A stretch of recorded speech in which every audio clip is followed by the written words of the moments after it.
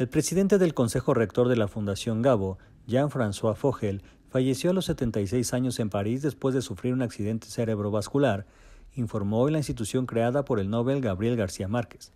El director general de la Fundación Gabo, Jaime Abelo Banfi, junto con los compañeros de Jean-François con el Consejo Rector y la Junta Directiva, se solidarizaron con la familia del maestro Fogel, considerado uno de los pioneros del periodismo digital en el mundo. Jean-François Victor Fogel nació el 3 de marzo de 1947 en Gargenville.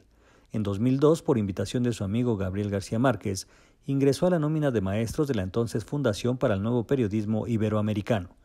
En sus más de dos décadas en la Fundación Gabo, no solo destacó como maestro de talleres, sino que también se comprometió fuertemente con la sostenibilidad y la visión a futuro de la institución.